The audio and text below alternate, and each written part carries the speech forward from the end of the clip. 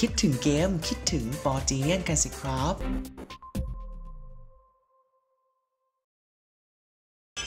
สวัสดีครับ ยินดีต้อนรับเข้าสู่ปอจีเนียนกับแอดมินปอคนเดิม เสียงนุ่มๆฟังสบายวัยไหนก็ฟังได้นะครับ เอาละครับ ตอนนี้เรามีตัวเกมที่ชื่อว่า Rise of Eros นั่นเองนะครับทุกคนตัวเกมนี้นะครับ ต้นทางเนี่ย จริงๆ แล้วเป็นเกมแนวแบบ เอาตรงๆ นะ ก็คือ 18บวกนะครับ แต่ตอนนี้เขาเปิดเวอร์ชันใหม่ขึ้นมา เป็นเวอร์ชันที่เล่นได้ทุกเพศทุกวัยไม่มีการแบบ ว่าวิวอะไรอย่างนี้แล้วกันเนาะซึ่งตัวเกมจะเป็นลักษณะของ turn based RPG นะครับ เดี๋ยวไปดูบรรยากาศกันเลยครับอ่าตอนนี้เข้าเกมกันมาแล้วนะครับ ตัวเกมก็จะมีภาพลักษณะที่สวยงามมากมายกันขนาดนี้เลย เราสามารถแตะต้องตัวละครตรงหน้าจอได้เหมือนเดิมนะครับทุกอย่างยังใกล้เคียงเดิมหมดเพียงแต่ว่าจะไม่มีการ อะโป๊บเปลือย อะไรประมาณนี้แล้วกันอะเดี๋ยวเราไปเล่นกันก่อนตาแรกนะครับ ตัวเกมจะมีโหมดหลักๆเนี่ยอยู่ประมาณ 2 โหมดก็คือ main แล้วก็ resource resource เนี่ยให้เปรียบเทียบง่ายๆ ก็คือการฟาร์มของนะครับเนี่ยหน้าตู้เขาจะมีของรางวัลบอกเลยว่า มีอะไรบ้างอันไหนที่เราจะกดเข้าไปแล้วยังเข้าไม่ได้เขาก็จะบอกเลยว่าต้องเสร็จ quest อะไรก่อนหรือต้องเสร็จ stage ไหนก่อนอะไรประมาณนี้ซึ่งแอดมี gold rush ก็คือการฟาร์มเงินแล้วนั่นเองครับ create stage แรกไปแล้วเหลือ stage ที่ 2 นะครับเขาจะแนะนำว่า ID เราควรจะ level 10 ก่อนที่จะเข้าไม่นั้นก็จะสู้ไม่ไหว stage แรกสามารถกด battle prep ได้ หรือจะกด rush เป็นการเรียกว่าเป็นการกวาดล้างอะไรอย่างเงี้ยเออคือไม่ต้องเข้าไปสู้อะไรประมาณนั้นอะเดี๋ยวกด battle แล้วก็กด main stage ตอนนี้แอดเล่นถึงด่าน1ขีด8แล้วนะครับตอนนี้ก็จะเจอบอสแล้ว เดี๋ยวเรามาดูบรรยากาศไปพร้อมกันการจัดทีมง่ายมากกดออโต้ก็ได้เขาก็จะจัดทุกอย่างเข้าไปที่ตัวละครอัตโนมัติแม้กระทั่งอุปกรณ์ที่สวมใส่เห็นป่ะเช่นปืนเอ่อลูกอบลูกหัวใจอะไรอย่างเงี้ยอะเดี๋ยวเรากด fight กันเลย มากันแล้วนะครับ ซึ่งตัวเกมเนี่ยเดี๋ยวแอดจะกดคูณ1คูณ1พอทร1พอเออเออแล้วก็ปิดออโต้นะครับเพราะเดี๋ยวจะเล่นให้ดูด้วยอะปิดไม่ทันเขาสู้ไปแล้ว เนี่ย อย่างเช่นตัวละครตัวหนึ่งเขาจะมีสกิลประมาณ 3 สกิลแล้วแต่สายของเขานะครับ มีบวกโล่ มีโจมตีปกติ แต่ละคนเขาจะมีการโจมตีของตัวเอง แล้วมีคิว การต่อสู้ที่ด้านขวา ใครอยู่ล่างสุด ก็คือเป็นคนที่จะได้โจมตีคนต่อไป อะ เรียงไปตามลำดับนะครับ อะ สมมติตัวนี้เป็นนักเวทนะแอดก็ลองเลือกสกิล2ให้เขาเนี่ย เออ จริง ๆ เราติ๊กได้ว่าจะเลือกโจมตีศัตรูตัวไหนด้วยนะครับ เนี่ย เลือกได้เห็นปะมันจะมีวงกลมขึ้นที่ขาของศัตรูที่เราจะจะโจมตีเขาอะกดยิง ปั้ง อะไรแบบนี้นะครับ จริง ๆ ตัวหุ่นยนต์เนี่ยไม่น่าเชื่อนะว่าเป็นสายฮิวด้วยทุกคน เออ เดี๋ยวจะฮิวให้ดูถ้าฮิวได้ ตัวแรกนะครับ นักดาบสองมือเขาจะเป็นตัว damage หนักหนักๆเลยนะ เออ ให้เข้าลุยก่อน ซึ่งบอสก็ค่อนข้างโหดแอดก็อัพเลเวลมาประมาณนึงอะเดี๋ยวให้น้องผู้หญิงคนที่ 2 เปิดโล่แล้วก็โจมตีด้วยนี่สกิลโคตรดีเลยเห็นปะแล้วก็กดไปที่ตัวแรกแล้วก็ฮิวฮิวได้ไหมเอ้าฮิวตัวเองซะงั้นอะทำไมไม่ฮิวเพื่อน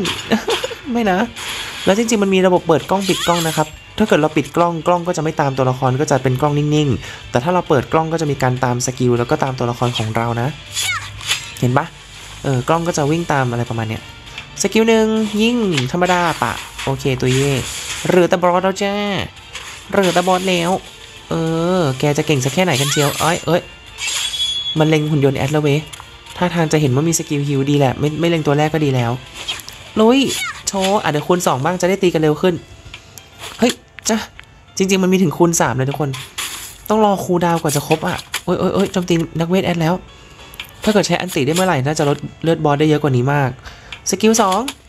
นี่แน่จะตุยละเฟยลูกกระสุนยิงตายเลยไหมยังไม่ตายอะเฮือสกิลสองนี่แน่ตุยเย่ไปซะ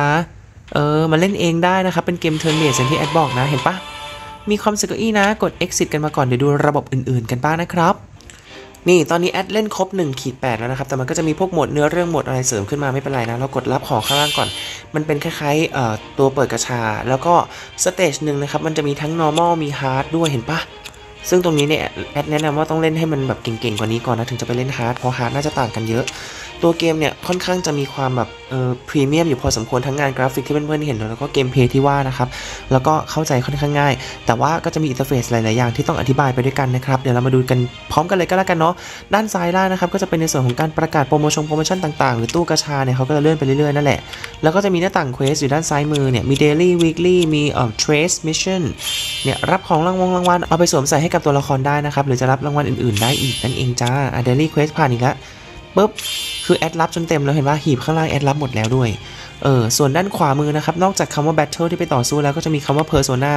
ก็คือหมายถึงตัวละครของเรานั่นเอง ดูเหมือนจะได้ตัวละครตัวใหม่มา อะเดี๋ยวพอดีเลย แอดจะได้อัปเกรดตัวละครให้ได้ดูกันนะครับโอ้มีสวมใส่อุปกรณ์ด้วย ก็จะมีการแนะนำนะ จริง ๆ ตัวเกมเปลี่ยนภาษาไทยได้แต่แอดลองเปลี่ยนหลายครั้งแล้วนะครับ มันไม่ยอมเปลี่ยนสักทีก็เลยคิดว่าอะช่างมันไปก็แล้วกันเนาะ นี่กดอัพน้ำยาเต็มก็ได้ หรือกดปิดก็ได้ อะเราจะอัพน้ำยาทีละขวดก็ได้นะครับ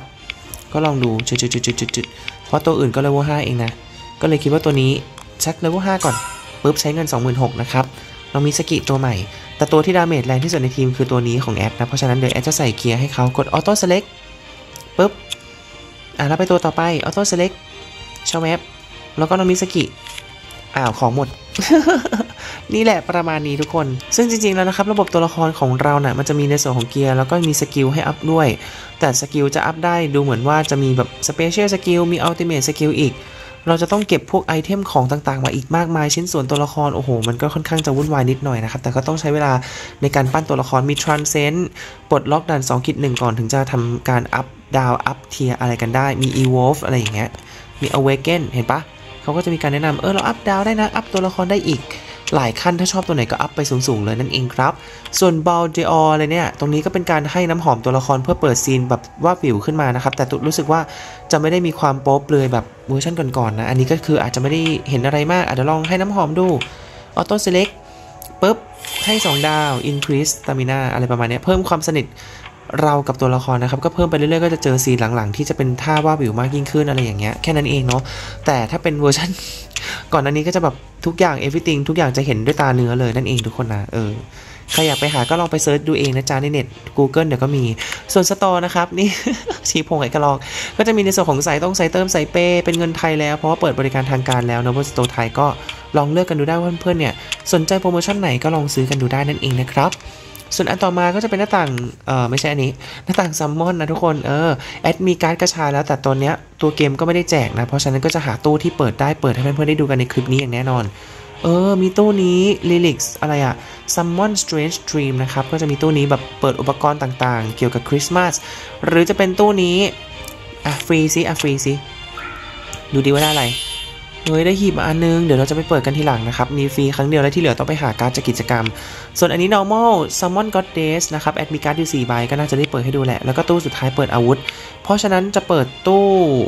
ตัวละครสัก 3 ตู้อุปกรณ์สักหนึ่งแล้วกัน ลุย มากันแล้วจ้า กดเปิดเลยชวบหาได้หุ่นยนต์เนี่ยนะ โอ้โห อย่างดีเลยเนี่ย ประชด เออ โอเค กดดีๆ ทุกคนกดย้ำๆ ได้นะอัศวินหน้าแมวมาทุกคน แล้วตัวละครที่แอดได้มาใหม่มีแต่ตัวละครสีม่วง แล้วนี่เปิดได้สีฟ้าใครจะได้ใช้กันบ้าง หา ได้อุปกรณ์สวมใส่ไหมนะ โอเคไม่เป็นไรเดี๋ยวอีกอันหนึงแอดขอไปเปิดตู้อุปกรณ์โดยเฉพาะซูซิเดี๋ยวไม่ใช่เปิดได้ตัวละครนะ ถ้าได้ก็ดีทุกคนอ่ามากันแล้ว ไปดูตู้สุดท้ายกันตู้อุปกรณ์เหลือการ์ดหนึ่งใบพอดีกดเปิดเลยชาแวบได้ของหน้าตู้สักอันหนึงจะเป็นบุญตามาก ขอร้องละ ในเมื่อตัวละครเกลือขนาดนี้ อุปกรณ์ต้องแจกของดีๆแล้วไหมฮะ โอ้โห เราก็นึกว่าของดีก็สีฟ้าเหมือนเดิมและววะ แต่ก็คงจะเป็นปกตินะครับ ที่เกมภาพสวยๆเนี่ยมักจะแบบเขาเรียกว่าอะไรอะเล่นตัว เอาตัวแบบดีๆ มาให้เรายากๆอะไรเงี้ยเราจะได้เล่นนานๆไงทุกคนไง เออแต่บางคนเขาก็ไม่อยากทนเขาก็ท้อแล้วก็เลิกไปก่อน ยกตัวอย่างเช่นแอดนั่นเองเอาไม่ใช่อะก็สำหรับคลิปนี้นะครับก็คงจะรีวิวให้ได้ดูกันประมาณนี้แหละทุกคนถ้าเกิดเพื่อนๆคนไหนนะครับสนใจก็สามารถนำลิงก์ล่างคลิปนะครับไปโหลดมาเล่นตามกันได้ แล้วถ้าเกิดชอบคลิปนี้ก่อนจากกันไปก็อย่าลืมกดไลค์กดแชร์กดติดตามแล้วก็กดกระดิ่งกิ๊งๆกันไว้ด้วยนะครับสำหรับคลิปนี้เนี่ยแอดก็คงต้องขอตัวเซบายไปก่อนนะ เจอกันใหม่ในคลิปหน้าครับ สวัสดีจ้า